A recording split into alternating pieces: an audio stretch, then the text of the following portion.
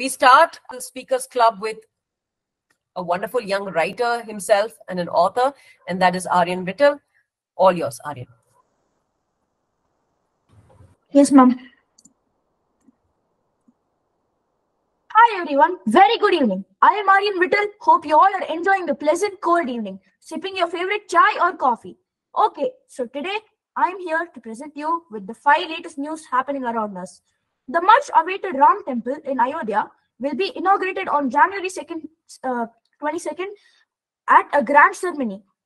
PM Modi inaugurates Boeing's largest campus outside US in Bengaluru at Devanahalli. Katie Moon, um, the gold medalist in pole vault in Tokyo, who shared her gold medal in Budapest uh, with Aussie Nick, uh, Nika Kennedy, is in Mumbai as as the event ambassador for the 19th Tata Mumbai Marathon. Japan's moon sniper spacecraft attempts attempts a historic lunar landing on Saturday. Japan wants to become the fifth nation to pull off a tricky soft landing on the moon's rocky surface. Only US, Soviet Union, China, and India have accomplished this feat so far. South Korea fell in love with dogs and banned the slaughter for meat. And coming to the weather updates, Bangalore wakes up to another chillier morning, and it is expected to remain cold for the next few days.